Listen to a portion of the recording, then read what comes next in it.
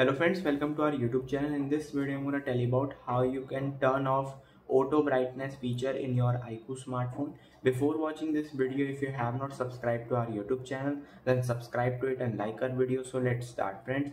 First you have to open your settings. Simply go to the settings. And here it is display and brightness. You have to just disable the adaptive brightness brightness. If it is on it will automatically increase or decrease your brightness according to your room lighting system.